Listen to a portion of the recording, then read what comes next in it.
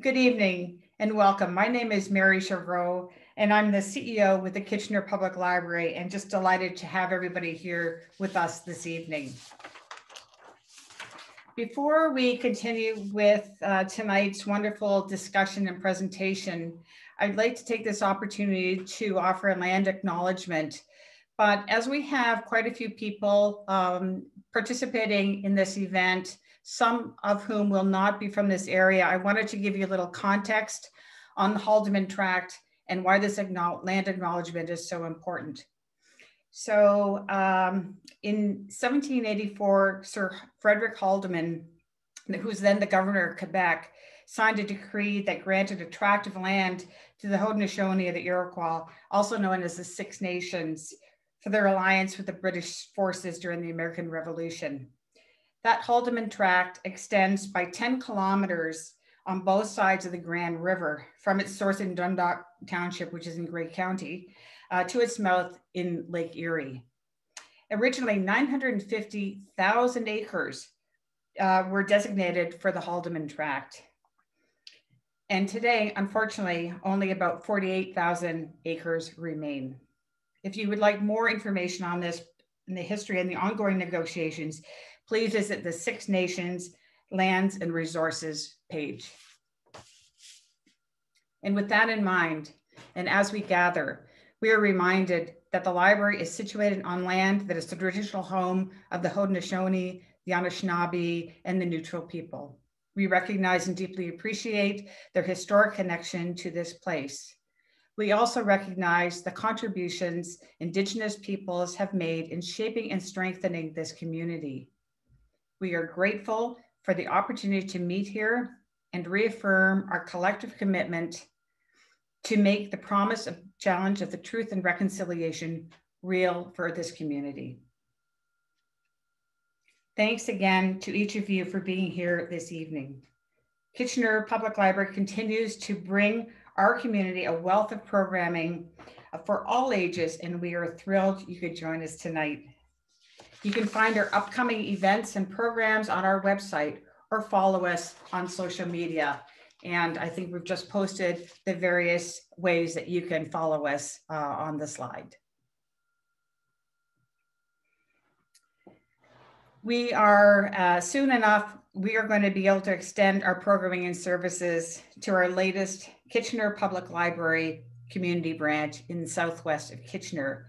We are incredibly excited about this opportunity. Um, what you're looking at right now are just the conceptual drawings. We haven't even um, um, um, um put an RFP out yet for an architect, but some of the elements I think that you're going to hear uh, from our speaker tonight are things that are very much front and uh, forward in our thinking about how we can develop a new community library that is sustainable, that is green, that spills out into the open spaces in a place where our community can connect. So we're very excited about this and we hope you can participate uh, as we uh, go along on this beautiful ride uh, to design and uh, offer a new community library to our citizens of the Southwest. And now for tonight's lecture. Prior to our current restrictions, Kitchener Public Library was thrilled to host the Grand Valley Society of Architects in person with lectures in our theater. And they are always to capacity seating. We are so grateful to the GVSA for providing us with wonderful lectures from the likes of Douglas Cardinal and Patricia Patkau. To tonight's very virtual lecture with Heather uh, Dubbeldam. There will be time for a Q&A following the author discussion, and we invite you to use the Q&A features. We will monitor the questions, and as time permits, questions will be sent to Heather to answer.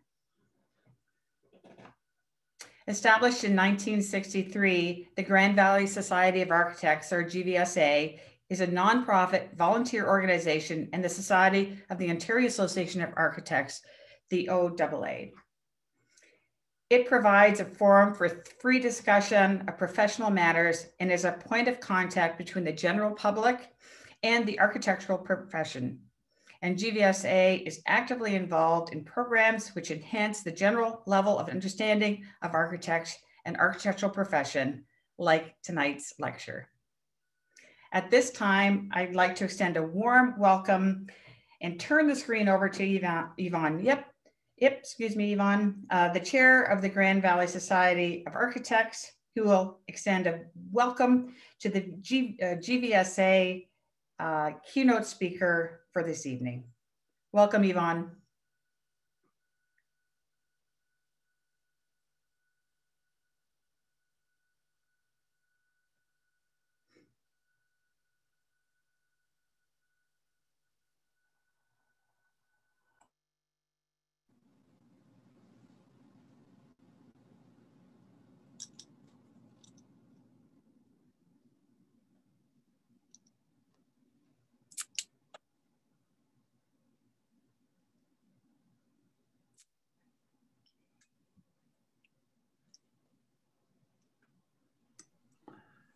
Go ahead, Yvonne, you're on. There I am.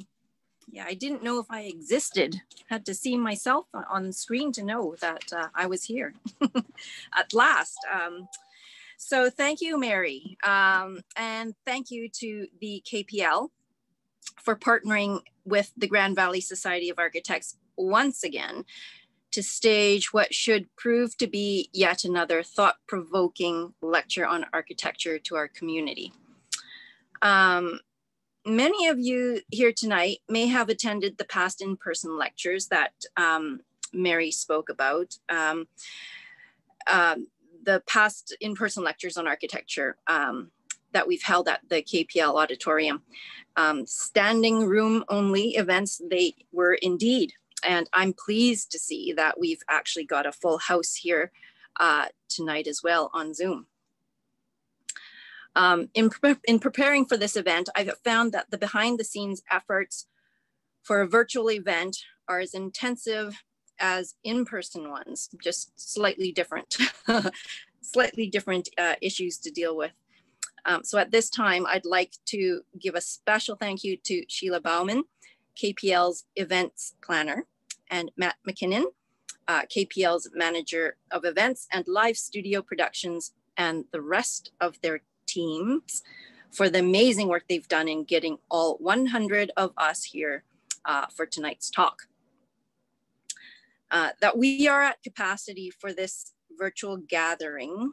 Um, it's apparent that there is a thirst for learning about the kind of architecture that can make our communities uh, built environment the best uh, they can be and I trust we won't be disappointed tonight. Tonight's speaker is Heather Dubbeldam. Um, Heather is the principal of Dubbeldam Architecture and Design, an award-winning architectural practice and research studio based in Toronto. Heather has been recognized as a leading advocate for sustainable design and the betterment of our built environment through her practice and intensive ongoing research in both Canada and Scandinavia on progressive design and planning that exemplifies best practices in social and environmental sustainability, climate positive developments, and urban resilience. Heather is um, her her practice is um, also the recipient of the 2016 Prix de Rome uh, professional Prix de Rome prize, Prix de Rome in, in architecture, uh, which has funded uh, such research um, that Heather will be telling us all about tonight. So um, it's a little bit different on Zoom. I, I you know, I, I want to say, and you know, here's Heather, and I want to hear the audience clap, but there we'll, we'll kind of imagine that. so Heather, thank you for, for coming tonight and um, welcome. Take it away.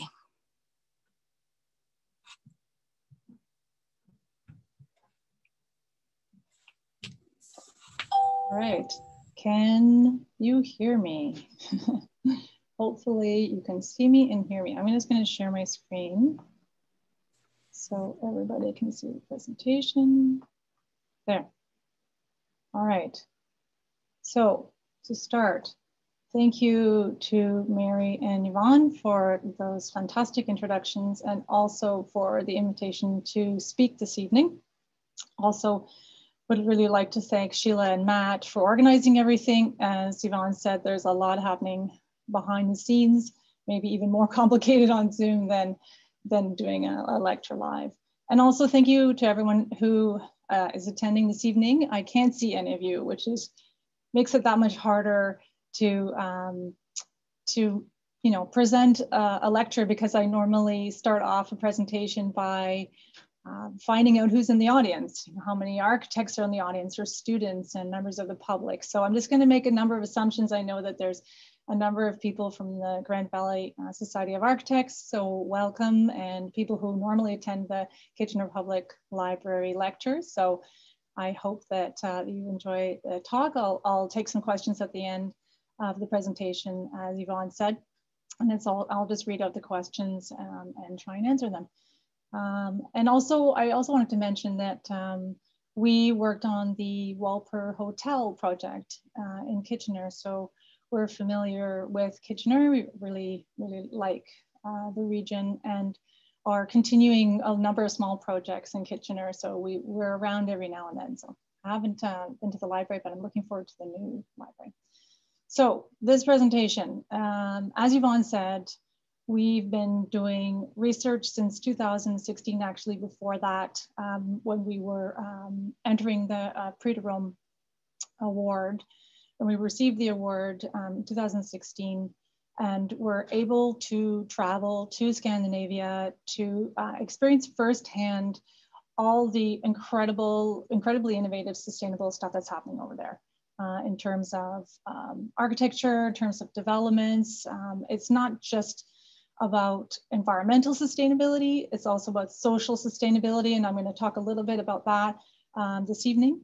I'm going to share some of the goals of our research and uh, what we've learned through our travels. We are um, still continuing that research um, and we're sharing it and I'll show you some of the ways that we're sharing and uh, disseminating the information.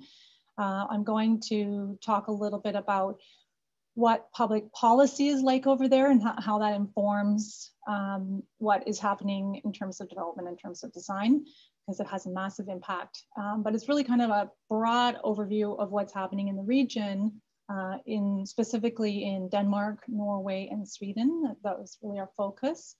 Uh, and also talk about how some of the, these things might be possible here in Canada. And I'm gonna show you sort of some contrasting projects. And then at the end, I'm gonna share um, some of our own projects that have been influenced by uh, the research that we've been doing and the projects we've seen in the, in the architecture.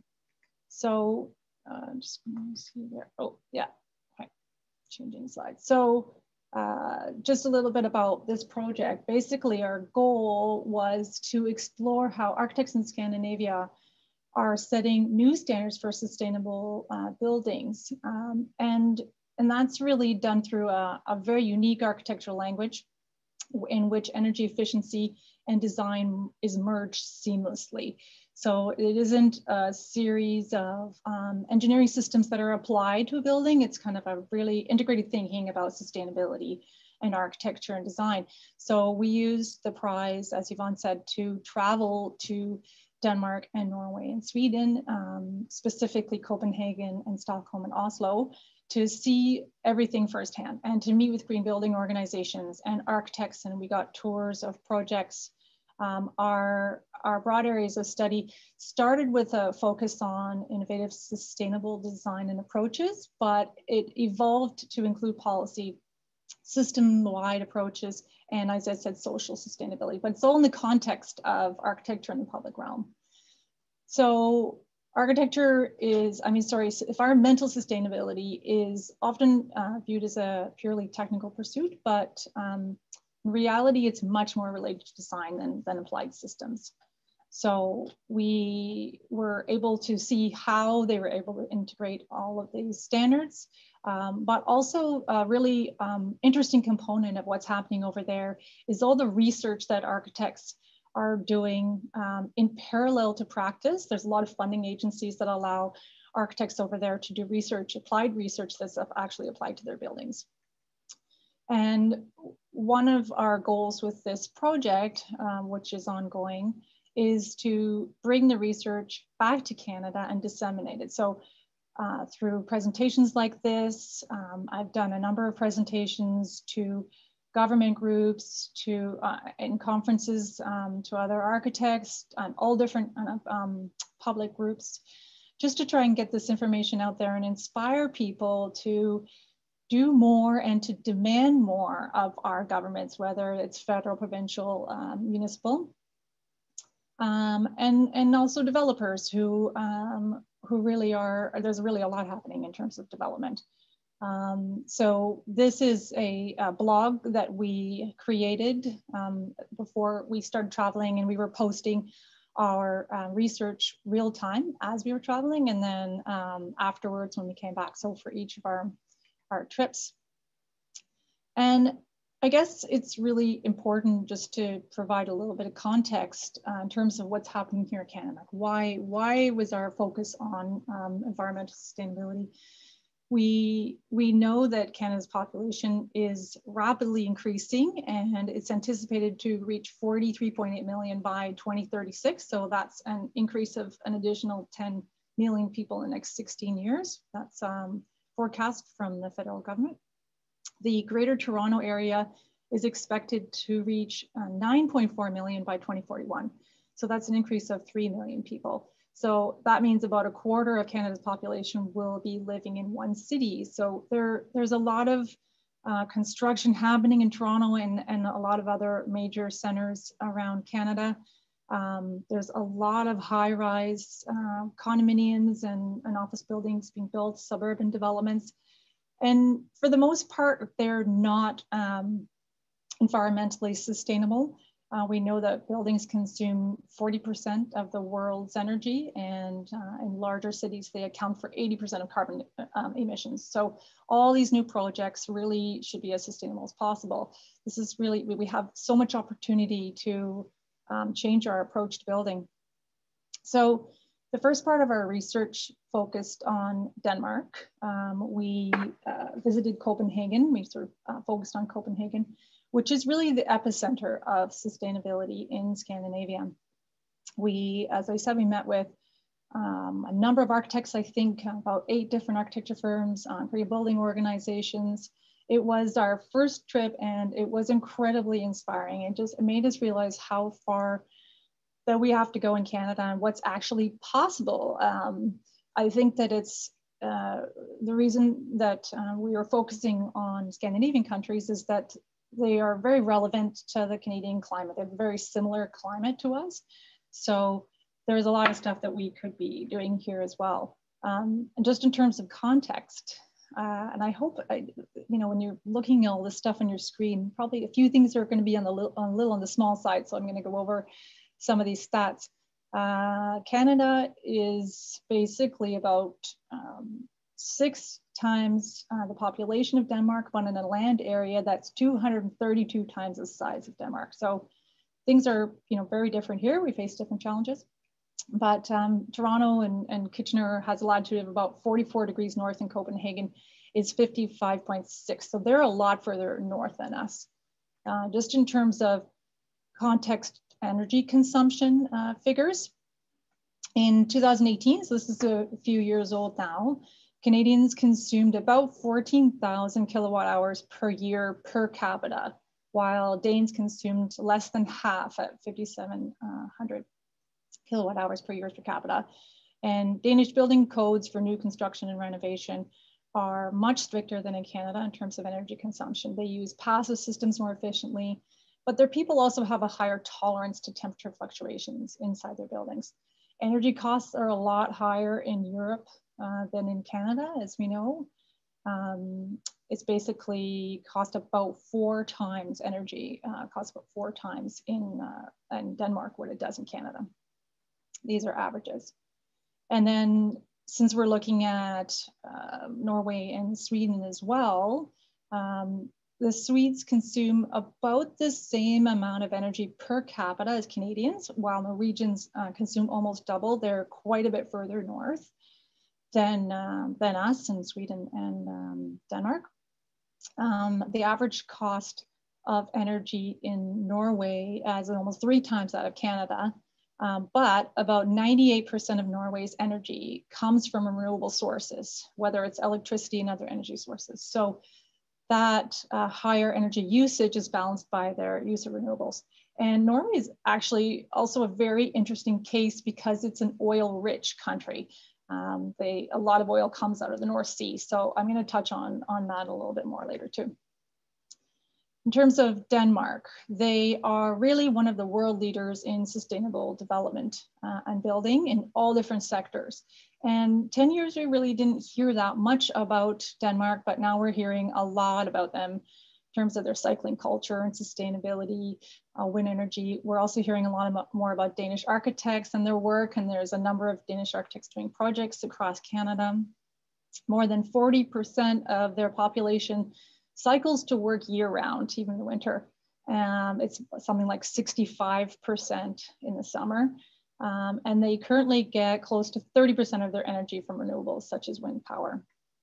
So how did all of this start? Um, the point of departure for Denmark as a leader in sustainable development was in the 1970s as a reaction to the two oil crises starting in 1973 uh, they saw that there's really a future built on limited resources and they were very dependent on imported energy. And so even though they have considerable um, oil and natural gas resources in the North Sea, instead of tapping into what they consider to be a diminishing resource, they set really ambitious goals for the reduction of reliance on fossil fuels. So starting in the 1980s, um, their economy has grown by over 90%, but their energy consumption has remained the same. Their CO2, uh, CO2 emissions have been reduced. So, and it's worth noting as well that regardless of what political party came into power over the last almost 50 years, their commitment to these energy reduction goals remain unchanged. In 2011, they introduced a plan called Our Future Energy, which set a goal for complete independence from coal, oil, and gas in the energy and transportation sectors by 2050.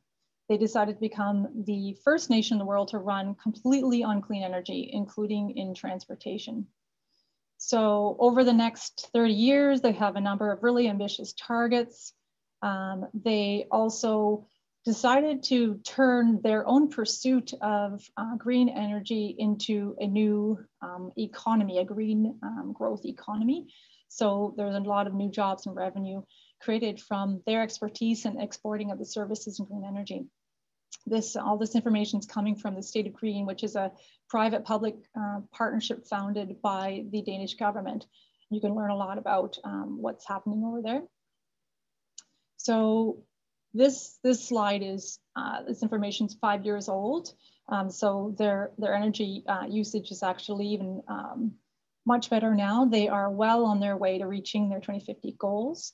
Uh, so today, about 33% of their um, energy comes from renewable sources, mostly wind and biomass. About 70% of their electricity comes from renewables, um, solar and wind um, turbines. Um, I think wind turbines uh, is about 50% of their electricity uh, consumption. The rest was other renewables. A big component of that is biomass, which is burning of natural materials um, uh, from the farming industries, um, garbage and waste products from, from all different industries, which is used to create heat and steam um, or converted to electricity. So that helps to reduce the environmental impact of the farming industry and human waste. And I'll show you a little bit more about that in a second. District heating, I'm sure a lot of you have heard of district heating. It has a huge impact on the reduction of energy use and greenhouse gases. Uh, this is a slide that shows Copenhagen. So the city center uh, is in red and the uh, surrounding areas are um, around that. And 98% of Copenhagen is heated by district heating, which is this uh, underground hot water distribution system. It's connected to almost every single building in the city of over um, 50 million square meters. So it has a, a huge um, range. And it even extends into the blue zones outside of the city. So when we were visiting Copenhagen, we were staying uh, at an apartment. This is um, uh, people in my office and myself. And every one of the radiators uh, in, in the apartment, so every room had a radiator, is connected directly into the district um, heating system. So there's no uh, central heating in each building. Every building is connected directly to all these pipes under the street. So if you're cool in one of the rooms, you just turn the radiator up um, and every room is controlled individually. So there are no furnaces or, or boilers or anything like that in, in people's homes. And the um, all of this hot water is transported below the streets. This is a, on the um, right side. You can see, you probably see this hand that I have here. This is an image we took when we were walking around. There's these gigantic pipes um, below the streets that bring all this hot water around um, to all the homes. And they're actually starting to introduce a cooling system as well. And then the top uh, left corner, this image is one of the newest uh, plants that produces the hot water. It's actually an incineration plant, um, which burns garbage, burns the city's garbage. And you probably, some of you know this project. It's um, it just opened, I think, last year. It's uh, designed by Big Bjarke Ingels Group, and they won this project by competition. So it's kind of interesting that even an incineration plant would be uh, uh, through done through a design competition. Uh, actually, I just saw there's um, the um, Architecture and Design Film Festival is on right now, and there's a, a, film, a documentary about this, about the building of this building, which is kind of interesting, uh, just to see the background. So if any of you are interested, um, try and, and, and uh, tune into any of those films that are on until December the 3rd. So this building claims to be the cleanest burning building of its kind in the world, but it also doubles as a recreational space for the city. So there's an artificial ski slope on the roof, uh, which is actually used year round and uh, climbing wall on the side of the building, which is actually the tallest um, climbing wall, artificial climbing wall in the world. And this plant burns the city's garbage turned into electricity and hot water. So they don't have a garbage problem like we have here. Waste is actually not a problem, it's a solution um, used to generate electricity. They have extensive filters uh, on the stacks just to make sure that there's no polluted air coming out. But there's a lot of um, political will in, in introducing projects like this. They're investing a lot of money into um, to making this sort of thing. And then just, you know, for context, there are district energy systems, district heating systems. In Canada, a number of our, our cities have small district energy systems. Um, Charlottetown and PEI has one. They have a biomass plant connected to a district heating system in their downtown core. Um, and they use all their kind of human and farming waste to fuel it, which uh, isn't, they actually don't have quite enough waste. So they have to supplement with oil every year. Um, and U of T and some of the other universities across the country have small uh, district heating systems. This is a slide of Regent Park, uh, which is a development in downtown Toronto that gets um, supplementary heating from a district energy system, which is powered by geothermal, solar thermal, sewer heat recovery, but it's also cooled um, by the EnWave program, um, cooling from um, Lake Ontario. So all of this talk about energy and all that, it's like why is this relevant to, to architecture? Uh, so much of what's happening there in um, Scandinavian countries is happening as a result of architecture policies that are in place. Um, it's not just about reduction of energy use, it's also about, um, you know, uh, production of energy and energy savings and all those things. There's just such an incredible will to support this change at every level, uh, but also public will. So this is a document, uh, the architecture policy was created in 2007. They're on their third version now, which is was a revision in 2014. It was developed by the Ministry of Culture uh, and other government ministries, uh, including the Architects Association. So there are 64 different initiatives within um, different government ministries. They set out standards for architectural quality and design excellence, sustainable design, educating youth about architecture. Uh, there's a framework of funding for research by architects, um, support of innovation in architecture, support of young architecture firms. Um, and they talk a lot about how architecture can promote quality of life, both environmentally, socially, and culturally uh, and the value of good architecture. So this is a really innovative piece of legislative guidance. Um, in Canada, there is no uh, policy that includes architecture, um, even though buildings represent a huge growth area for our country and the government is one of the largest purchasers of products and services in Canada. I'm actually on an advisory board which who are developing a framework for a proposed architecture policy for Canada. Um, and we're using the Danish and other architecture policies as a model. So here's some pages from the, uh, the architecture policy document um, and just, just the emphasis on high quality architecture and not taking the lowest bid. And a lot of all of this came out of the work and writings of Jan Gehl, who was an architect um, who started writing uh, in, 19, in the 1960s um, talking about human-centered design cities for people. And that, that, that, those were the era of the car and the expressway when cities were tearing down old neighborhoods um, for expressways. And he published over the last 50 years, uh, six books, uh, which have had a huge influence on what's happening there in Denmark uh, in terms of public spaces, human-centered design, they have been closing down roads for pedestrian only access. There was a huge program to clean up all the inner harbors so they could use for recreational spaces. And his work has really been the driving force behind the social sustainability movement, like human-centered cities, making cities um, and developments more livable, something we're starting to talk about a lot more in North America. This is an organization called Realdania, who um, uh, basically develop and support pilot projects in architecture um, that uh, really change the way people think about the power of architecture and, and planning um, and development. They are they have a huge fund. It's it's a purely um, philanthropic organization, and they only um, give money to architecture projects. There is a um, a huge component of that goes to the architecture firms to support research and sustainability, but their goal, the, the uh, Realdania and uh, Denmark's goal is to develop world-class private and public research institutions which focus on the built environment. So one example of an architecture practice over there that operates government funded research divisions is uh, 3XN. So probably some of you would have heard of 3XN. They're doing work in um, Canada a few projects in Toronto. They have a division called GXN, which is their green division. So they do a lot of research on um, systems and materials.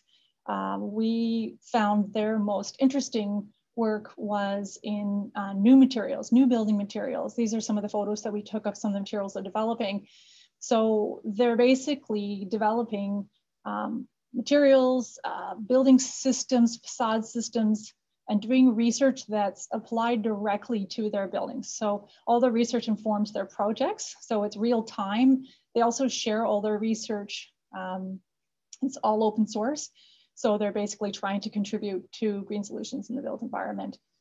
So this is uh, one of the projects that uh, they did that we toured when we were there in Copenhagen um, that, it, that it incorporates some of this research. Uh, it's the uh, UN City project. Um, it's the, um, the uh, home for the United Nations in Denmark. And it basically consolidates um, eight different agencies of the UN in one building they, who were previously spread throughout the city. So there's eight different wings. Um, each of them have access to natural light and air. Uh, they have, you can see all these uh, on the roof, see all these black squares and there's a skylight in the center. There are uh, 1,400 um, photovoltaic panels on the roof, uh, which produces about 300,000 kilowatt hours per year. Uh, so along with a, a, lot of other sustainability features, there's very little uh, need for electricity from the grid, which is, was, which is remarkable for an office building. In the center of the building, um, there's an atrium under these really large skylights that uh, brings light deep into the center and this really interesting stair that connects all the different levels and there's bridges across the atrium.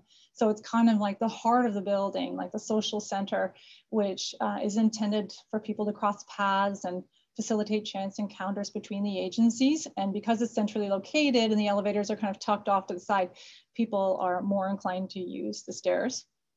So there are quite a few different uh, sustainable systems integrated in the building. Solar panels on the roof, I mentioned, there's an extensive rainwater collection for gray water. But two of the systems that were the most interesting to us were, was the um, seawater cooling system and the solar shading devices. So cooling is done by drawing uh, cold seawater into the building. So it almost entirely eliminates the need for electricity for cooling. So you can see these gigantic uh, pipes that transport the cold sea water to heat exchangers. So it's about 3 million uh, liters of water pumped through there every year. Another one of the interesting systems is the solar shading devices um, on the building's exterior. They're made of um, perforated metal, so they kind of let filtered light in and they open and close automatically, and they can be controlled by users uh, from their computers in each of the different areas. So you can see the building facade at night. Most of the shades are open, but there's two, um, two green roofs on the building. Uh, this building uses about 55% less energy than an office of a similar size in Denmark, which is already much lower than the rest of the world. So you also may have heard of Henning Larsen Architects. Um, they do uh, a lot of research on sustainability. They employ 12 PhD students doing research on the built environment at their office at any one time, and they use that research to inform their projects. And they publish this book uh, about their process and the projects and their methods of sustainable design. This is just one of the pages from the book, which is about daylighting at all different scales, like urban scale, the scale of the building. There's a, such a limited amount of natural light in um, Scandinavia at, at, at, you know, for part of the year in winter. So they, they do everything they can to kind of amplify natural light. And, and so natural light and fresh air are themes that you'll see kind of over and over again in, in Danish projects. This may be familiar with this project. Uh, Henning Larsen won a competition to design the Etobicoke Civic Center uh, in Toronto with Adamson Architects but their scheme um, is aiming for a net zero target, which is really difficult in our climate in Toronto, uh, just based on on uh, cooling in the in the summertime. But they also won just because of their approach. Uh, they divided the really really large program into multiple forms, which creates sort of a more inviting and human scaled uh, experience around the building. Um, with a lot of community spaces and civic spaces for farmers markets and, and other community uses. So it'll be interesting to see this project um, come out. So this is um, a project by um, BIG. Actually, it's by Plot, who are the predecessor firm uh, of BIG. And, and I wanted to show this project just to talk a little bit about social sustainability um, we've seen this project a lot published, but we never really think about it from a social sustainability perspective. Uh, there are 80 residential units. Um, it's located um, in a suburb just outside of Copenhagen. And it's a single building for living and parking. Uh, there's a stepped form that gives each unit access to light and air and conceals the parking structure. So the parking area is connected to the street and you can drive right up and park outside your unit. It's really the only building in the region where you can do that. But importantly, uh, every um, one of the units has access to an outdoor space with a garden and a view. So it's kind of similar to a suburban backyard, just smaller, but with the social intensity of an urban building. So there's large glass windows and doors that open up to these little terraces and they're separated from each other by planters, which are fed by underground cisterns. Um, which um, from rainwater. So it's a kind of a really amazing um, alternative to a condominium unit or the single family home. It's kind of a blend of both, something kind of on the mid-rise scale that'd be worth considering uh, in Canada's urban centers as our population grows. And another example um, by BIG on the kind of social sustainability side is the 8 House project, another one that you're, some of you may be familiar with. And what's interesting about this is the kind of communal living side of things. There are 475 units of different sizes uh, for individuals, retired couples, uh, families. There are communal facilities in the middle of the building where the two loops meet. There are courtyards here and commercial and retail at grade. So it has pretty much everything. There is a continuous ramp that goes from street level all the way up through the whole building and connects all the units, um, kind of like a road. So just on a sort of similar scale development, this is a, a tower, 40 story tower in Toronto, has the same number of units. Um, and obviously there are issues of land area that, that we have here, but different approach completely. Um, there's I was saying there was a ramp that you can walk up to your unit. There's also some units that have a little staircase and they have their own little gardens, terraces. There's pretty extensive green roofs on the building and a cafe, um, communal cafe at the start of the ramp. Um, and I guess what's really interesting about this project is that it's a new typology um, that we really don't see very much.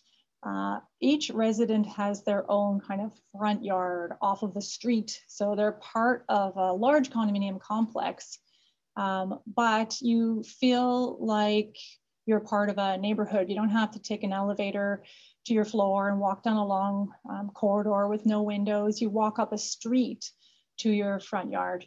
Um, and so even though you're eight or 10 stories up, you feel like you're at grade. So you can see these little gardens and kind of front yards off of the street.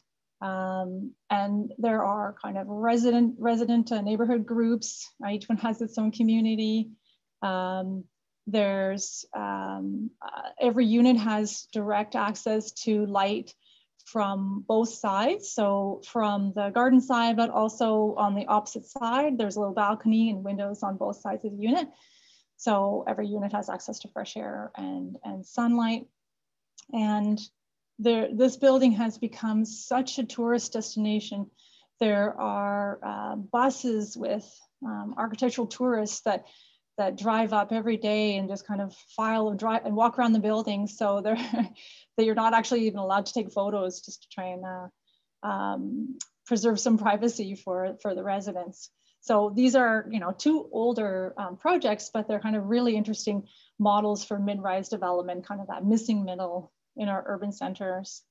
Uh, this is a um, project kind of on the social sustainability side. It's a new project by Henning Larsen in um, Copenhagen. It, uh, it's, it's, in a place called Faubourg. Uh, it's a brand new um, project and it's a, a a, a neighborhood that is going to be built um, completely out of timber. So the uh, every single building is um, is made with timber.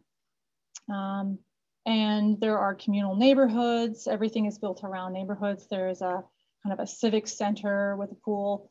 Uh, and, and this is, so instead of creating um, a suburban development with uh, just single family, it's all multifamily kind of communal living. So creating these, these really beautiful neighborhoods. So um, I want to just stop sharing my screen for a second and just check something. Because I think, just bear with me for a second here, people. Just want to make sure I have the right Just bear with me for one second. So I noticed that some of the slides were out of order. So I just want to make sure I have the right presentation because every time I add more um, research and information, All right, we're good. We are good. One second, I'm just gonna share my screen.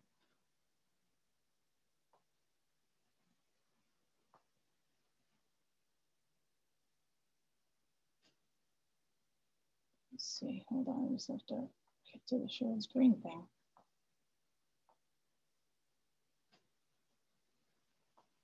Um, Matt, can you help me share my screen? Because I'm not getting an option to share my screen on Zoom.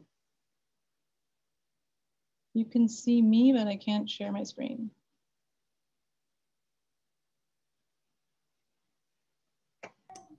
There we go. Okay. Oh, you found it? Okay. Got it, got it. Hold on. Okay. Where did it go? Sorry about the interruption. I'm gonna do. I just can't find it. Oh, I guess it's right here. Right. Everybody see that? All right, sorry about that. Uh, I don't know if I had the most current one up. So moving to uh, Sweden, we, about a year after we went to Denmark, um, we visited um, Stockholm in Sweden, actually visited uh, Malmo as well. Uh, Sweden had a kind of a later uh, investment in sustainability. They started adopting more progressive sustainability policies in the 90s and Norway in the 2000s. So they're a little bit um, behind where things are in Denmark. So like many European nations, Sweden is undergoing rapid population expansion. So they're dealing with a deficit of housing. Uh, this is due to many different factors such as immigration, higher birth rate, but also if you notice in the chart on the right, construction really stalled in the last two recessions in the 1990s and the late 2000s. So their population grew from about the population grew about um, 1.5 million in uh, from 2000 to 2018. So that's a 13% increase over 18 years. But new construction dropped off considerably. And by comparison, um, Canada is experiencing the highest population growth out of any of the G7 countries, uh, with an increase in population in those same 18 years of 6.37 million, which is a 17% increase. So in Sweden, there is an immediate need for uh, new homes. Uh, they are aiming to build about 250,000 new homes by 2025, with 180,000 in the Stockholm region alone. And the Swedish government ambitiously is holding these um, projects to the absolute highest levels of energy efficiency and sustainability. So there's uh, a lot of emphasis on infrastructure as well, and also on design excellence. This, of course, is framed by the Swedish architecture policy. Uh, this was um, a very similar architecture policy. It's developed by the Swedish government with a Swedish Association of Architects. And there are a number of recommendations that address urban planning and infrastructure, architectural design, interior design, architectural education, public outreach, all in the context of sustainability. There's a section focused on procurement with recommendations for an approach to procuring architectural services and construction projects without having to select the low bidder. So that, um, that quote, quality is long remembered after price is forgotten, sort of a very poignant quote. So one of the projects that we saw that was uh, really, really interesting, both in terms of development and in terms of architecture was the Royal Seaport project. So this was a project started in 2010 and it's ongoing. Um, it's a development on um, brownfield lands. Uh, it's in Stockholm. It's the, one of the old ports, so it's industrial land. And it's a 20 year project that's going to be realized in 13 phases, um, spread out over 20 years by 55 different developers. So this lengthy phased approach allows all these planning ideas to be tested. Um, a phase can be built and they can learn from that. The, uh, there's a lot of collaboration between the architects, municipality, and the developers, and every single project is awarded by through competition. Um, the um, there's uh, every one you can see kind of all the different phases along here, and the phase that we were able to tour when we were there was the third phase, which is complete. This is kind of a model. You, you'll note the kind of courtyards, the way the building form is organized. It's all mid-rise development. And they used all the lessons learned from the first phase and the second phase uh, to inform what they did in the third phase. So um, aside from their goals to be fossil fuel free by 2030, the development's requirements for the reduction of energy consumption are amongst the strictest in the world. So I wanted to kind of give you some context in terms of um, their standards compared to, say, in Canada. The, the Royal Seaport standards are even higher than the national standard. So for example, in um, 2010, when new buildings in Sweden were only allowed to consume a maximum of 110 kilowatt hours per meter square per year, the Royal Seaport set their maximum at 55 kilowatt hours per meter square per year. And when the national standard lowered to 80 kilowatt hours per meter square per year, the Royal Seaport lowered theirs to 45. So in contrast, in Canada, the average um, energy use intensity of buildings um, is about 213 kilowatt hours per meter square. And that is kind of an even distribution between 144 and um, 299. So we're kind of three to six times higher than, than the Royal Seaport. And to ensure that they meet these really high um, standards and targets, they do testing years later. So there's a lot of um, accountability. So the buildings um, were all awarded through competition, as I mentioned. Um, they work with all different developers and different architects. They had a set of materials that, um, that were approved. So the buildings can only be constructed out of approved materials. Waste collection is done automatically underground through a vacuum system. So the space that's normally used for bins um, is now can be green space. There's reduced vehicular traffic and noise and smells due to garbage trucks. The buildings are, are all organized around shared courtyards with landscape open space so, and each building is designed by a different architect. So you're getting that really interesting diversity um, in uh, buildings. And some of them are, you know, more subtle. They have climbing greenery. Um, all of them are very community focused with places for children to play, courtyard spaces. And the developers uh, had to all work together to develop these building blocks and these courtyards. So it wasn't just one um, developer for one building block, it was a series of them. So in order to meet the really high standards, they had to kind of work together to capitalize on their collective expertise. So each one of these um, phases is getting more and more sustainable. The fourth phase that was under construction when we were there is uh, called Brofästet. And it's a plus energy. Um, so it's energy positive phase. So every building that's constructed is going to be energy positive. Um, it's uh, here's an example of one of the buildings, um, 43 units. The um, basically uh, to make a net positive, they have to offset 17 to 18 kilowatt hours per meter square per year. Um, when the average multi-unit residence in Sweden in, uses more than 130 kilowatt um, hours per meter square per year. And again, in Canada, it's 213. So just in terms of comparing the numbers. So they have um, this roof uh, is covered in solar panels. There is solar uh, photovoltaic films on all the glass. And one of the kind of innovative features of these buildings is these balconies, which are separated from the rest of the building. So there's no um, thermal transfer. And there's screens that can be closed and to create these kind of little um, microclimates um, for additional layer of um, protection and heat and heat retention. And they're made of a combination of wood construction and concrete, these kind of prefab concrete panels with a great deal of, of insulation. So lastly on our, on our travel research was Norway. Uh, Norway is a country that is rich in oil. So it's only been the last 20 years that they've been investing in sustainable development uh, and green energy production. They understand that oil is not a renewable resource. So in 1990, they set up the, the sovereign fund. Surpluses from their oil sales go into this fund for the future economic prosperity of the country. And it's the largest sovereign fund in the world. It's worth over a trillion dollars US. So that fund is used to invest um, into the transformation to sustainable technologies and development for the future when oil may not be readily available. They also have a high carbon tax, which finances um, uh, sustainable uh, research. And, you know, one of the kind of interesting things we learned was last year that sovereign fund, Norway Sovereign Fund, divested about $76 billion from four Canadian energy companies that derive more than 5% of their revenue from the oil sands.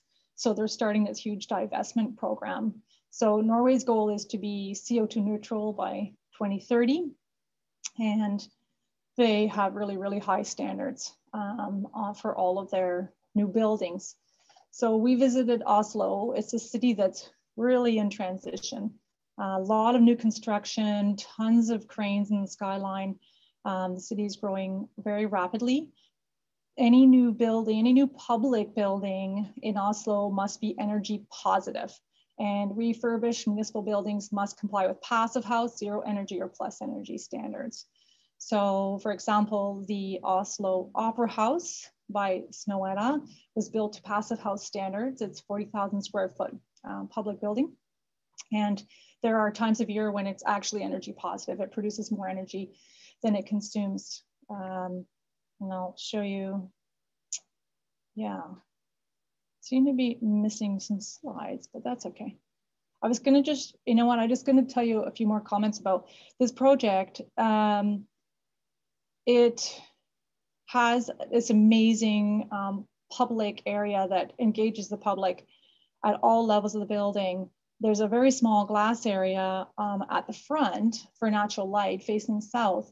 And I was delivering um, uh, some information from this presentation to a group of architects at a conference. And afterwards, one of the architects who's a you know well-seasoned senior architect came up to me and said, there's no way that that building's passive house is way too much glass. So the glass actually has um, photovoltaic um, film on the glass. So it um, estimate, it's estimated to produce about 20,000 kilowatts of electricity every year, which makes it actually the biggest solar power plant in Norway. But the rest of the building is, is solid. So we're not losing a lot of heat. Um, Norway also has an architecture policy. So there's a real emphasis on um, eco uh, and energy friendly solutions, on public space, um, is also a very inspiring document developed by um, the Architecture Association. This is an overview of Oslo's um, uh, shoreline. There's a huge amount of development happening in around the shoreline, a lot of brownfield sites, the old portlands. And one of the interesting projects is this project right here, which is called the Barcode Project, um, which is an experiment in increased density and height, which is not typical for Scandinavia. Um, it was built um, over in three phases from 2008 to 2016, and each phase stepped up the sustainability measures considerably, uh, with the third phase achieving um, energy savings of, of, about a third, like uh, two thirds better than the first phase. So it was actually based on Vancouver's eco-density initiative, so an, an, experiment in vertical expansion close to the city center, the transportation hubs. Um, and all the buildings are connected at grade with courtyards and pathways um, with a walking uh, path over to the, uh, the train station.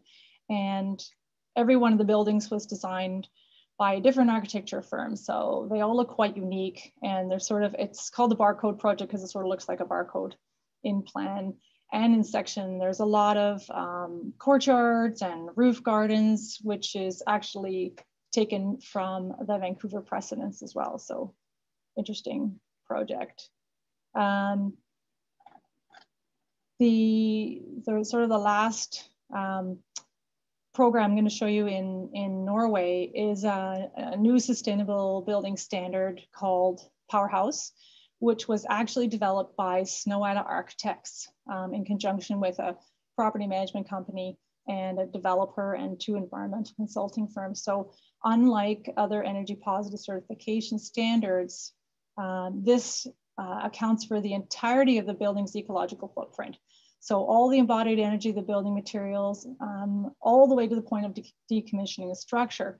So it employs a 60 year operational model throughout which the building must produce enough surplus energy to make up for the environmental impact of building it in the first place.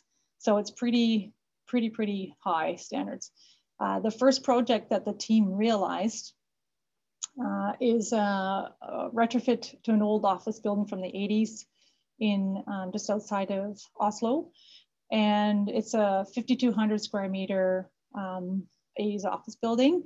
Prior to the renovation, the building's annual uh, energy consumption was 250 kilowatts per meter squared, kilo hours per meter squared per year. And after the renovation, it dropped down to 19. So they kept the original steel and concrete uh, structure. Um, they put on a brand new um, envelope, uh, like a building facades, uh, which are clad in thermally processed wood, um, airtight, insulated, and it actually doesn't require any heating in the winter. The heat is, being, is basically generated by the occupants and all the office equipment. All of its energy needs, electricity needs, are met by photovoltaic panels. And the um, natural, it's, it's built around these kind of um, solar chimneys. All the stairwells are these kind of uh, passive uh, ventilation shafts, and the rest of the interior is designed for, for flexibility. So coming to Canada, um, I was going to show you six of our projects that embody some of this thinking, some of the things that we've learned through our research the buildings are not quite as exciting as the stuff that I just showed you in Scandinavia, but you know we're working in different contexts and there's different constraints and different uh, budgets, obviously. Um, I I have a feeling I'm going to see whether I, I, just not sure if these are the right slides or not, but just bear with me. I want to make sure that I'm only going through these few projects. This is a residential project uh, in Toronto, single family and it was a renovation to the existing house. We actually maintained the um, structure and the side walls of the house, but we reclad it at the front and the back just to kind of reference the traditional like domestic scale and form of the neighboring homes. So there's new triple glazed windows at all levels um, and kind of frames use the exterior, access to natural light, um, better connection to the outdoors.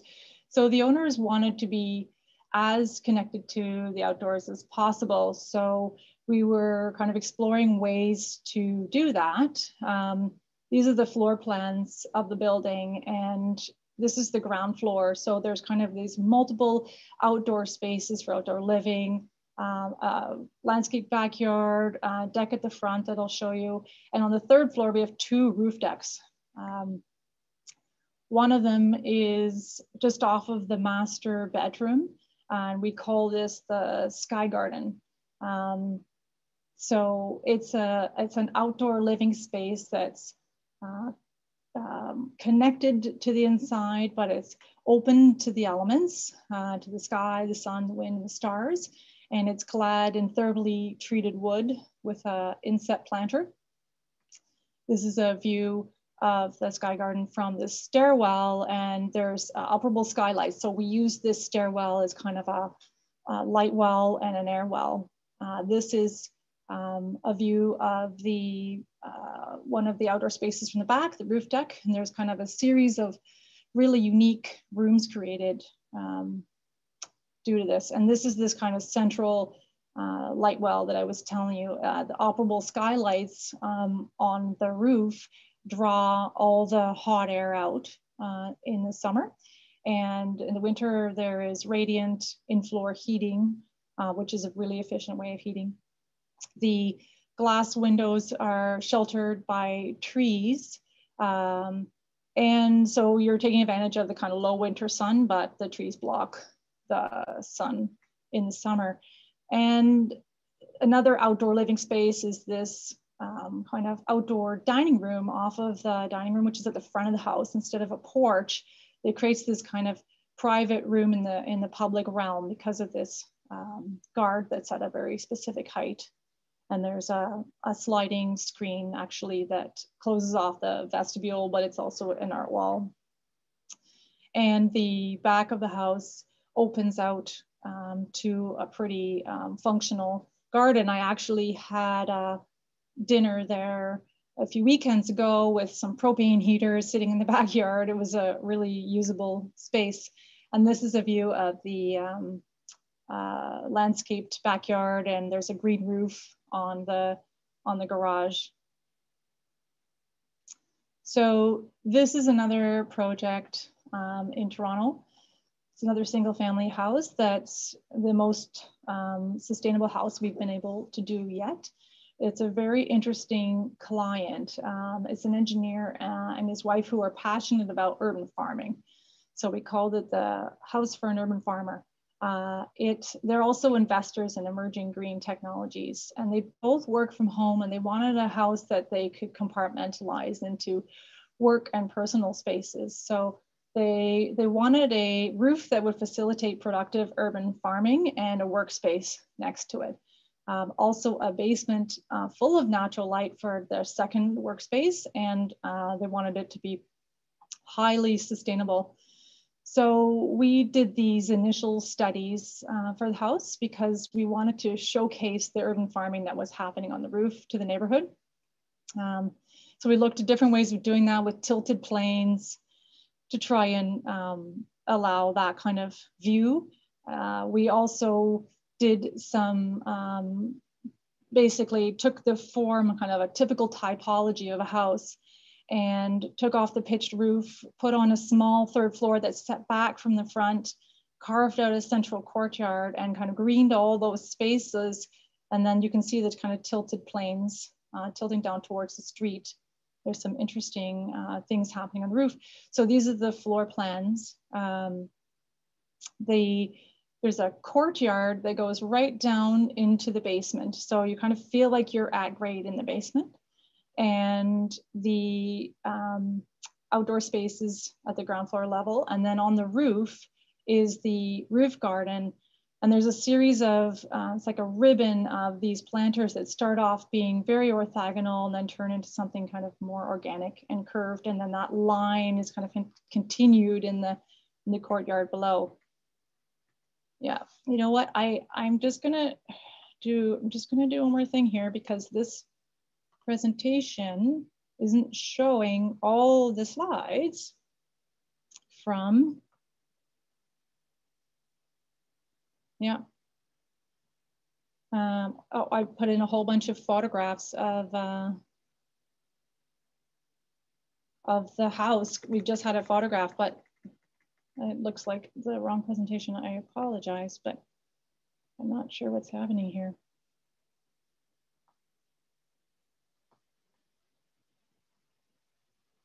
Yeah. Oh, you know what? I'll just keep going and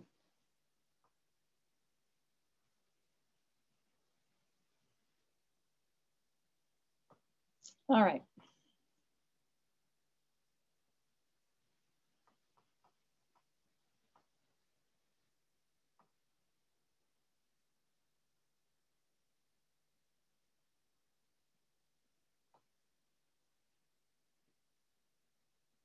Just gonna go back to where I was.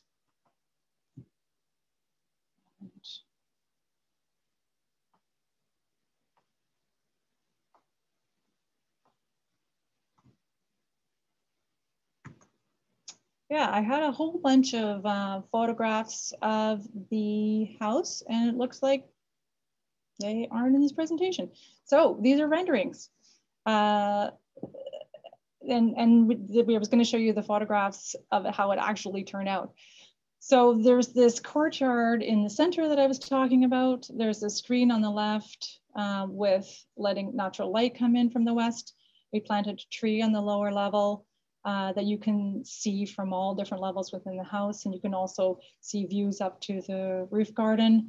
Uh, and then this courtyard allows daylighting deep into the center of the house because it's a long, narrow house. And also windows, so operable windows, and there's a sliding door. This is a section of the uh, house with showing the courtyard uh, with a tree and all the sustainable systems. So there's extensive rainwater collection system on the roof, which goes to a cistern. And that's pumped back up to irrigate the roof garden. And there's actually a radiant system that's in the ceiling, both for heating and cooling. Um, also, um, I'm not sure if you can see from here over here, there's a geothermal system as well. So it's a vertical geothermal system with holes drilled in the front yard. So the heating and cooling is all done through this geothermal and there's actually a heat sink um, into the pool. So uh, all the excess heat is kind of sunk into the pool. There's a pool in the backyard. And this is the back of the house. There's uh, the cladding is kind of pre-weathered wood so that it's already weathered and there's a quite extensive planting in the backyard as well, both uh, productive and, uh, and decorative. So this is a, a multi-family project uh, that we're working on. It's a, an actual project that turned into a concept. Uh, it's a, an old rooming house in Toronto, three-story walk-up, built in 1907. And the owner wasn't sure whether they should demolish it and build a new larger building or renovate it. So we encourage them to keep the existing building to kind of repurpose all the structure and the, and the building shell and to incorporate the character of the building, um, but introduce kind of a sustainable approach. They wanted to add a, a fourth floor. So we started with a study on how collective living or communal living could be more socially sustainable, kind of exploring some of the ideas of what we learned in Scandinavia. Because most people uh, want to have single family home with a backyard, and that's becoming um, less and less accessible um, due to cost. So we explored kind of ways of introducing outdoor spaces to communal living environments and ended up with this kind of idea, which is um, creating these little outdoor spaces within the footprint of the building. So the existing building, we kind of stripped off all the outdated balconies and sort of carved out these spaces, which we call these inverted outdoor spaces, and added a fourth floor with a green roof and set it back from the elevations at the side and at the front, um, partially to preserve the scale of the neighborhood, the three floors, but also um, to allow for some green roofs. So all of these um, spaces, all of the new interventions are clad with a warm wood. And we created these inverted outdoor spaces. Um, you can kind of see the original building envelope and then becomes an outdoor space. We put a uh, glazing here, so it's kind of like an indoor outdoor space. Little kind of mini backyards, I guess, of sorts. So you can kind of see the building at night and there's privacy. Um, there's space far enough apart that there's privacy between units. And we created this kind of carved out and created this kind of central communal stairwell.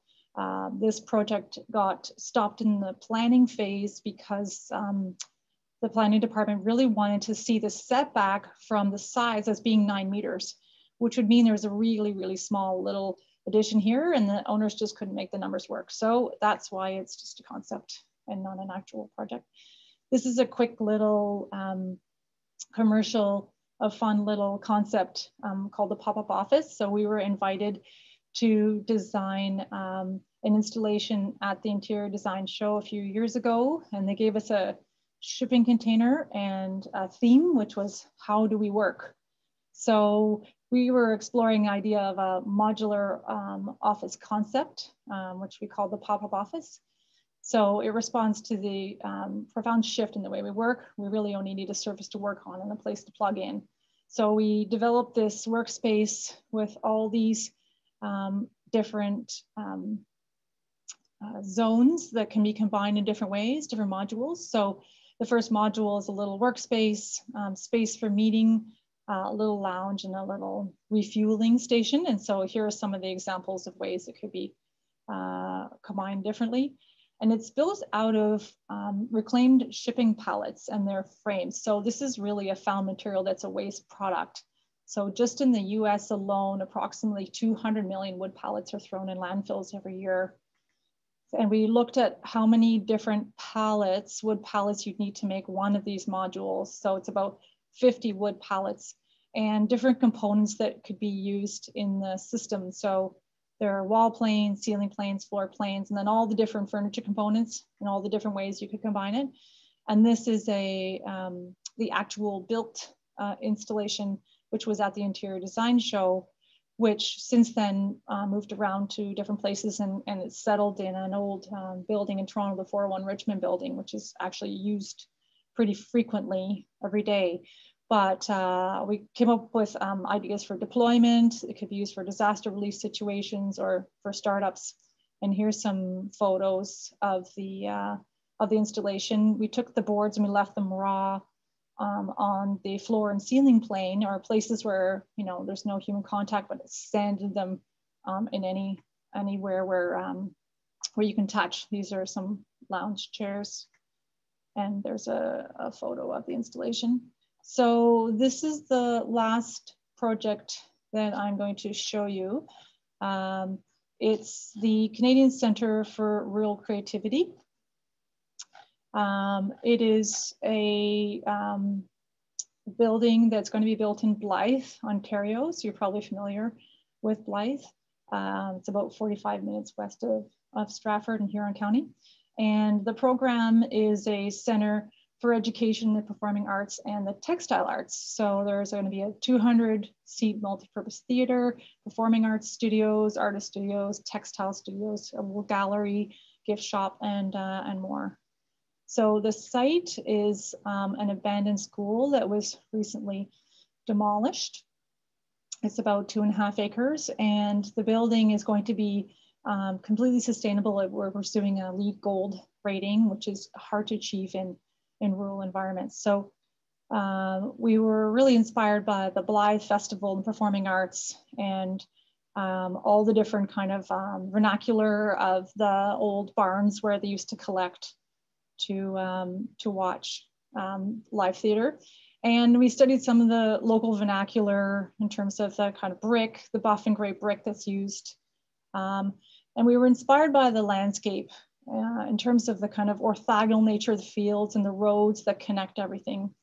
So we did a whole series of studies um, for the building form, both to kind of generate the sustainability requirements require, but also to achieve the programmatic goals and ended up with the build, a building form that has this kind of central spine that connects all the different um, parts of the program that are unique uh, kind of like the road and the, and the orthogonal fields, but it creates all these opportunities for views um, from the different parts of the building. And this is really just a concept model uh, that we produce for the community. And the, this, the central spine is glazed, but not on the roof, just on the sides.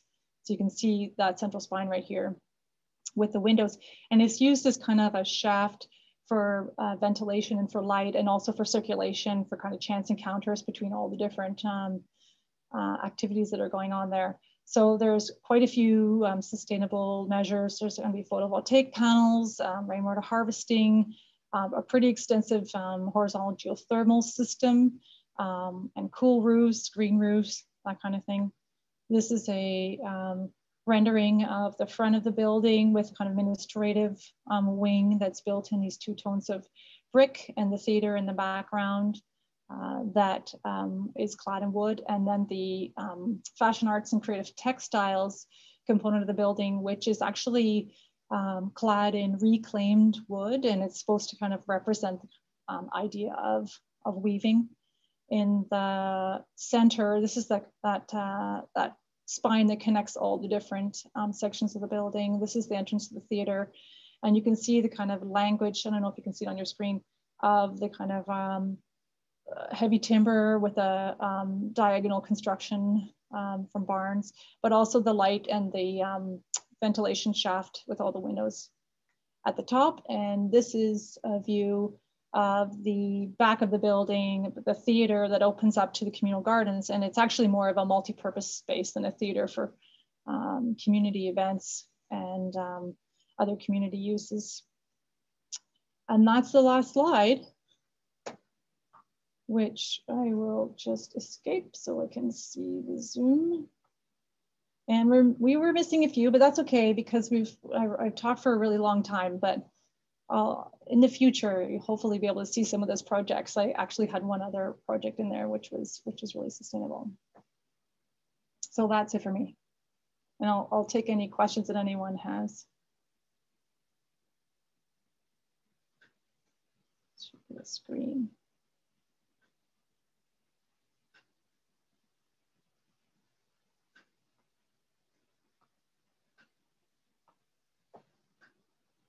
Here we go. There are questions here. Okay. So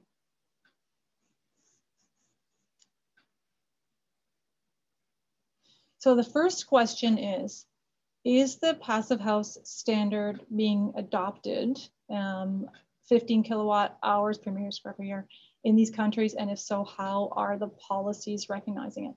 That's a very good question. So the depending on where you are um, in Norway, all public buildings, uh, like every building that the new building that's built has to be built to passive house standards, but it's actually not exactly um, passive house. It's kind of an adoption, um, an adaptation that um, suits more of um, Norway's climate, but uh, they're basically trying to achieve those standards. Um, any new public building has to be net positive. So that's all just done through building codes.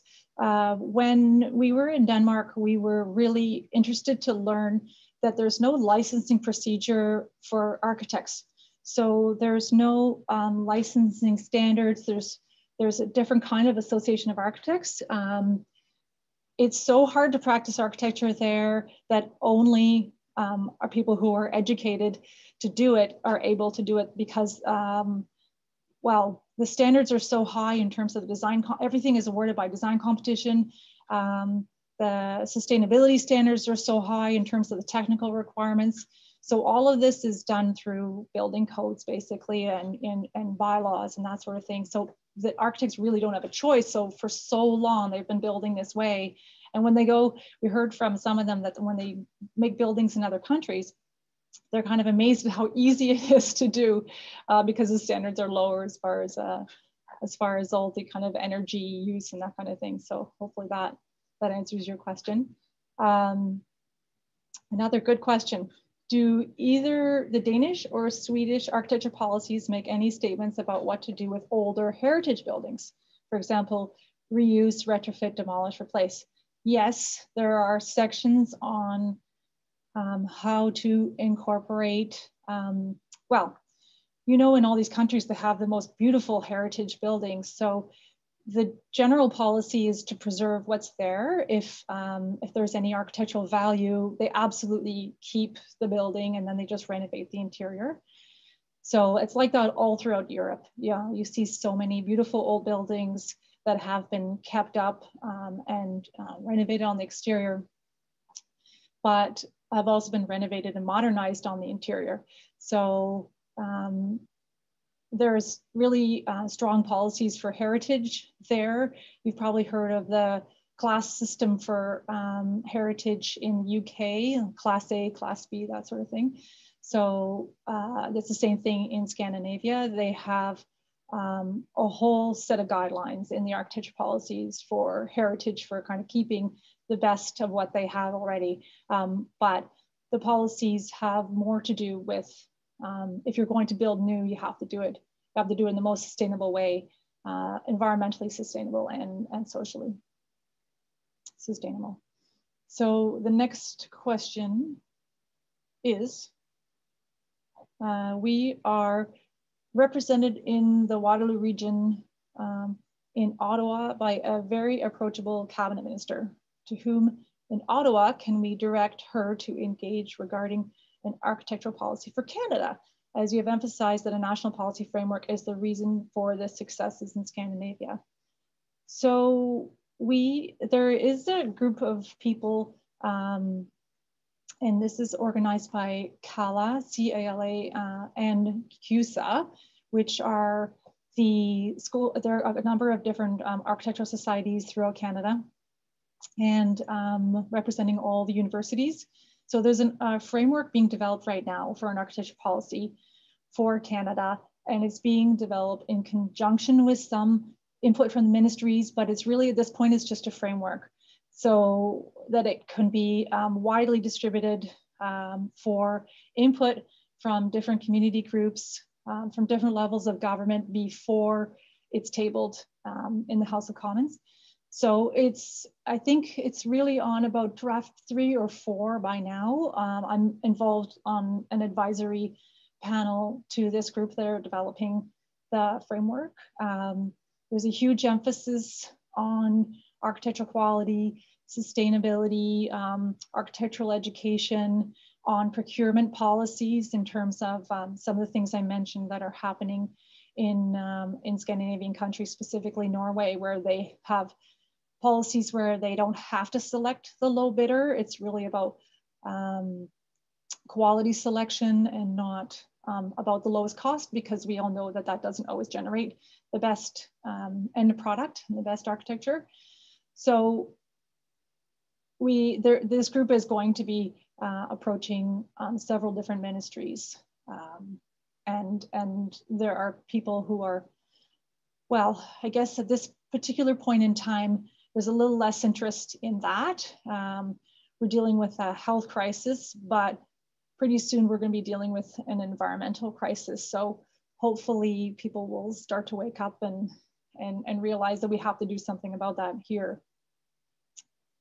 So the next question is, what do you see as the most important things we should do as architects in Canada and Ontario to influence slash introduce policies such as seen in Scandinavian countries?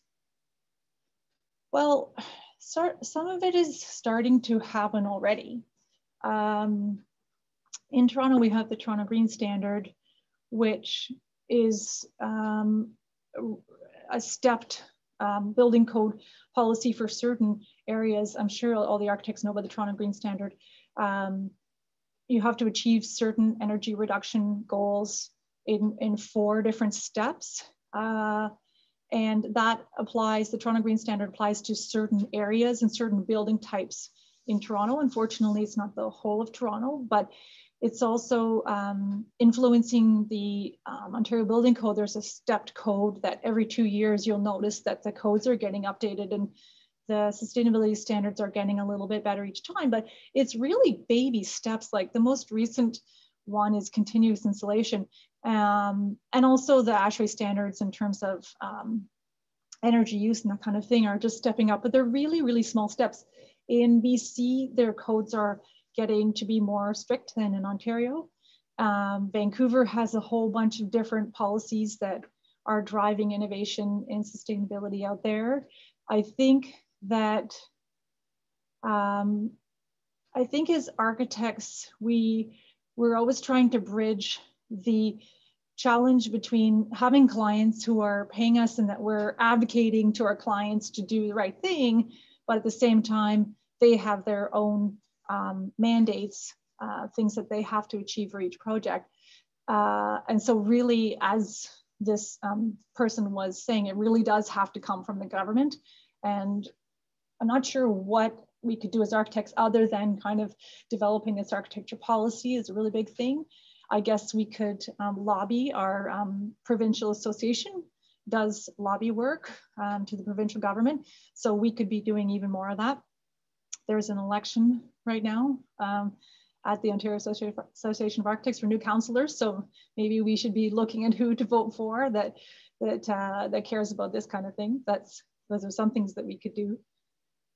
Uh, what is the next question says, what is the mechanism for design excellence in the Scandinavian countries? Is there a compliance process uh, similar to P3? That is a very good question because I'm not sure how, um, I think that it's just kind of built into their genes. I mean, we all know that um, Scandinavians care about design and they care about quality. If you look at um, in the kind of furniture and product design realms in those countries, some of our kind of favorite furniture comes out of there. Uh, they've always had really high standards for design. Um, I think there are um, design review boards there, but I'm actually not familiar with that. We were looking more at the kind of environmental and social sustainability side. And our kind of basic assumption was that all of these um, projects achieve the highest standards of design excellence. But you see that when you're there, like all the buildings are, are everything is just so aesthetically pleasing and at the right scale and all the neighborhoods really um, everything seems not not everywhere but you know so many neighborhoods everything seems to really fit there's just such um, an emphasis on on quality and also one of the things we found is that the timelines for projects are much longer and more realistic so you know we get RFPs um, from um, different organizations, public or private, and they need a response back. You know, they need a proposal in in two weeks. So we, we as architects, we barely have time to submit the proposals. The timelines are so, so aggressive. Um, over there, we talked a lot about timelines um, in terms of how having a bit more time can generate quality. The budgets um, for projects are higher the uh, budgets for fees are a lot higher too, uh, which is, you know, definitely has an impact on, on quality in terms of architecture practices. So it's really hard to bring a lot of those models over to our context. We just don't have the same political and economic climate as they do over there. But I feel like we could just start to make some of those changes. And we are, we're seeing it. We're seeing some of these things happening in terms of the quality of projects. We're also seeing these Scandinavian architects practicing doing projects in Canada. There's about six different firms doing projects across Canada, including Henning Larsen, whose work I showed you, BIG, Schmidhammer Lawson, um, COBE, 3XN, um, and uh, Serba. So those are kind of six of the bigger firms who've started doing work over here. And so um, I think that's definitely having an influence too, because they're bringing their approach to design excellence and sustainability here too. It's kind of, you know, refreshing to see something new. Not that we want to always have Scandinavian architects winning all the jobs, but it is nice to see the odd project like that. Um, the next question, and and uh, Yvonne, just cut me off at any time if I'm going over time. I'm just going to keep answering questions until you cut me off. Uh, the next question is, and this is Bill Bertzel. Hi, Bill, how are you? The Scandinavian work is highly urban. Do they um, do they comparable policies? Are there comparable policies to deal with social stress in urban living? I don't know. I mean, it's that form of communal living is just so much more sustainable. They're just used to that kind of density. Um, everybody's used to living in smaller footprints. Uh, everything is much more communal. There's more emphasis on, on the importance of public space kind of as a um, really important communal um, connector. Uh, we didn't really feel that there was any um, stress um, from urban living. And I think that's pretty typical across Europe. The cities are just much denser than ours. Everything, you know, like on all the kind of main streets is all um, mid-rise. You know, here um, on my office, I'm in office right now, is on St. Clair. We're near Dufferin in Toronto, and everything's two stories, kind of running along this major avenue. And so there you'd see kind of six to eight stories. So you're kind of used to this different level of density. I think it's just the way they grow up, but there's a lot of parks, a lot of communal spaces for people to get out. Um, people spend a lot less time at home and they don't kind of covet this you know, having a bigger house and a big backyard. It's just a totally different mentality, I think.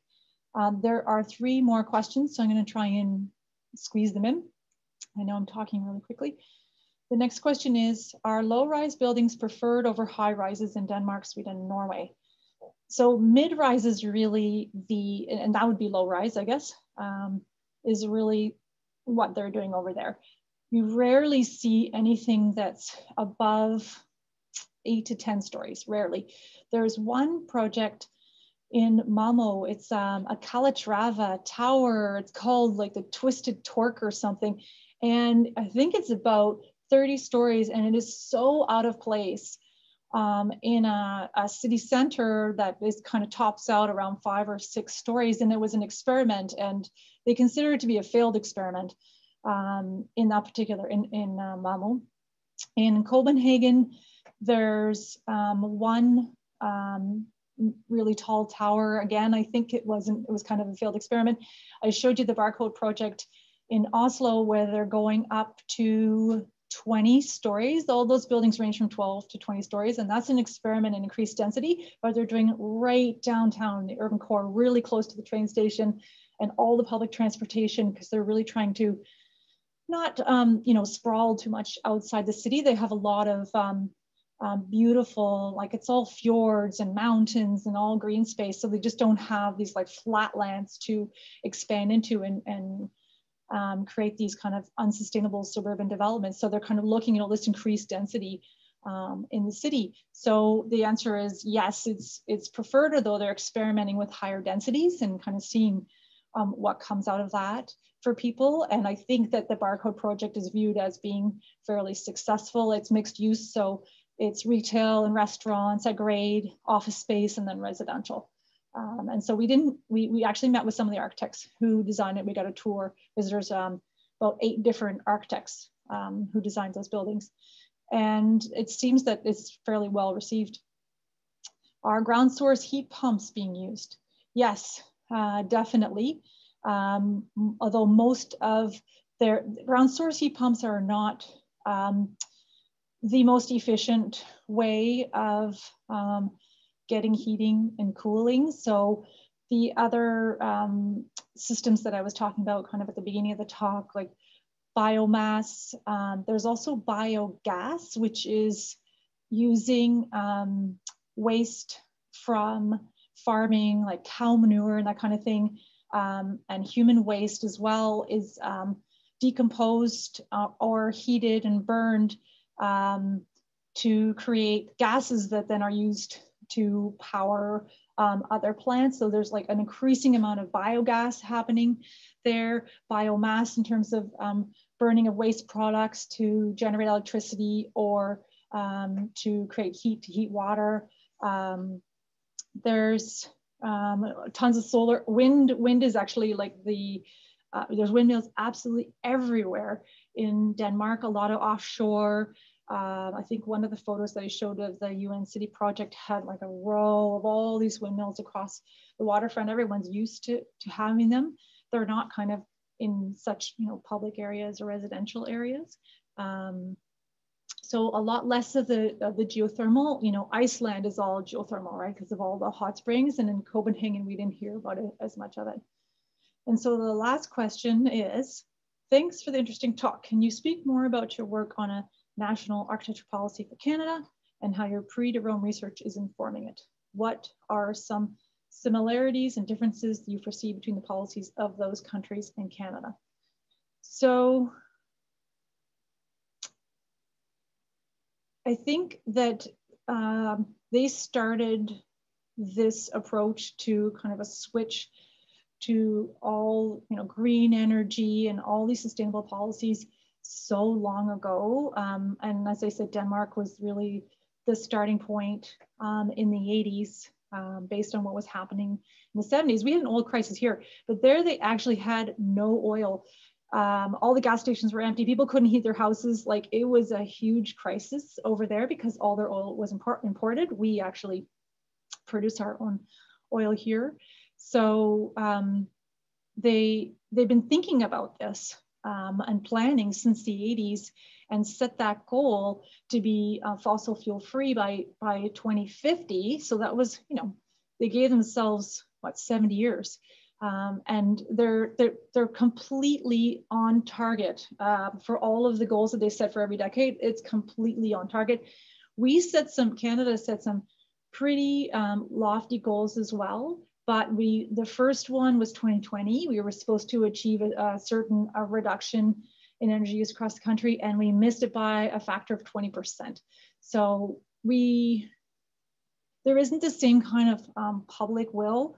Um, there isn't the same kind of government will. Um, we're hoping that the architecture policy makes people think. I think the more that there's just a lot more interest in, in sustainable um, design and architecture in the media. Um, you know, there's a whole kind of tiny home movement. Um, people are thinking about living in smaller spaces. There's been a lot of writing recently I've read uh, during the pandemic about people realizing that they just have too much stuff and looking at a more kind of simple life. So I think that the mindset is changing here, at least, you know, in Eastern Canada and the West, they're so dependent on the oil and gas sector. It's like the economic engine of the country, but that sector is in complete crisis right now. So I just thought it was kind of interesting that we're at this real turning point in Canada with the uh, crisis in the oil sector that, you know, it's different than what was happening in the 70s in Scandinavia, but maybe there's an opportunity for change that all of the investment um, could go into um, sustainable technology because we need to turn around. Like we can't keep this boom or bust thing out west isn't isn't going to be viable long term. So is the architecture policy going to influence that? I think it's going to come more from government policy. Um, the architecture policy, only one part of it talks about sustainability. The rest of it's like quality of life, um, quality of buildings, that kind of thing. So yeah, we have high hopes, but I think it really has to come from the government will, and it has to be um, political will that stays in place over the long term. It can't be a new party comes into power and then just, you know, reverses all of the good that was done previously. It has to be something that's unchangeable. There actually is um, one more question that slipped in here. It says, incineration is a political non-starter here. Absolutely. Any suggestions how to overcome this hurdle?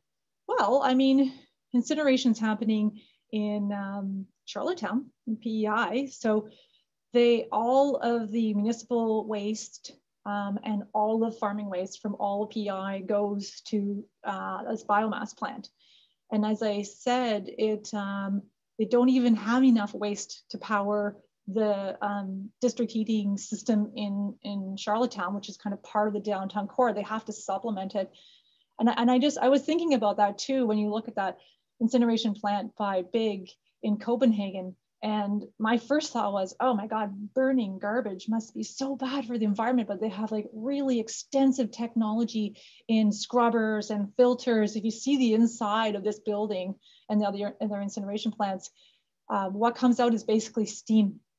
And so there was um, you, some of the Arctics here probably saw the, the whole exploration that, that BIG was doing. They were trying to do these smoke rings coming out of the smokestack, these steam rings. So they were developing the technology for that. And they haven't quite got it working yet, but it's actually, you can be right near it and, and, and breathe that air. So I don't know how, it just makes total sense. Like look at all the garbage that we're producing and how much of our um, recycling actually ends up in landfills and all was all being shipped to uh, the far east and that's not happening as much anymore. So it kind of seems like a no-brainer for us to be developing the technology to take a huge huge huge problem and turn it into a solution. And burning all this garbage for electricity just kind of makes total sense. They just have to look to other countries who have the technology and actually have the equipment and why not purchase some of that equipment and do it here? It's just that there's a whole um,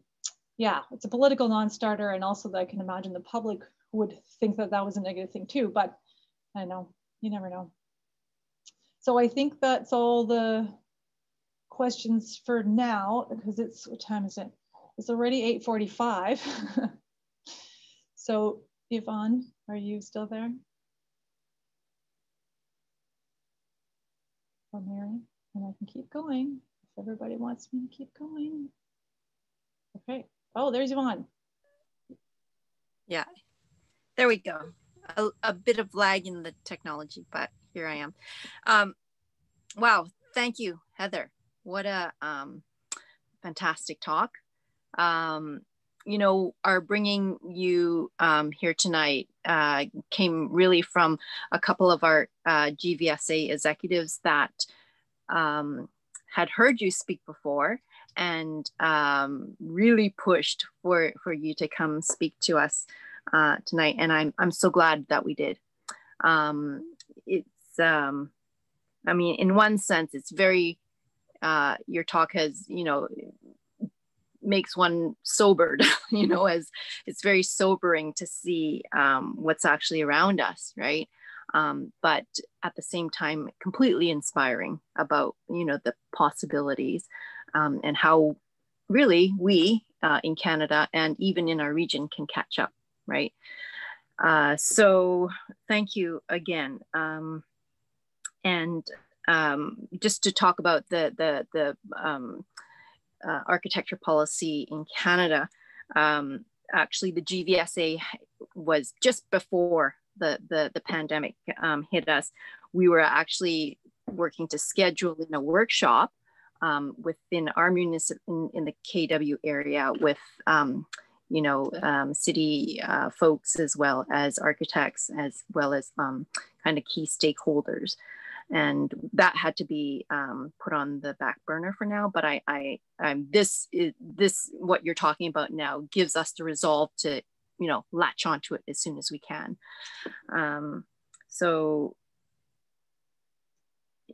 yeah, I, I, think it's it's fantastic, and and you know the questions that you've been fielding uh, with regards to what um, you know what mechanisms can we bring into uh, uh, the canadian picture to to get to that level of design um, and and that you know supports sustainability and better um, living environments.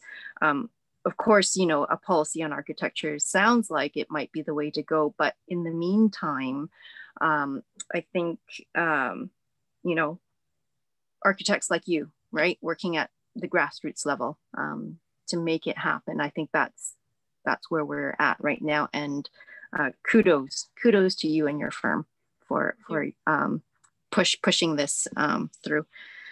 After so thank you again. Yvonne, just a little aside. After I did a presentation, a similar presentation at the OAA conference, there was someone in the audience who was from the federal government in procurement and she emailed me afterwards and said, I'd like to learn more about how they do procurement there um, in Scandinavia. Can you share some of the information? Which that was the most exciting thing for me, just the idea that maybe some of our public projects could be procured in other ways other than the low bidder. Um, so that, you know, those are, these are little baby steps that, uh, that we can see some bright lights. Mm-hmm. Yeah. Baby steps, they, they eventually turn into big steps. Yeah, hopefully. Right. So great. Um, and thank you everyone who uh, came to this talk. Um, I, I, am completely pleased that, you know, even in our circumstances that we can get such a crowded room uh, to, to um, learn about great things. And so with that, uh, and thank you again to the KPL for all their support. And uh, really without the KPL, this would not have happened because uh, yeah, I, I I still have issues with uh, turning on a computer. so uh, with that, uh, have a great night, everyone, and a safe week. Thank you. Bye.